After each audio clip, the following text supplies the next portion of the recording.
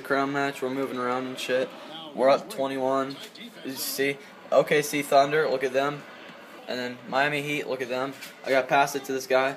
Oh, look at my nigga Haslem. Oh, addition dimes.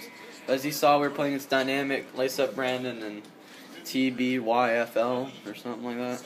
Some stupid ass little acronym.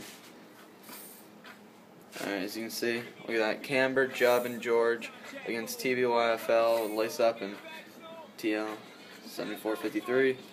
GG.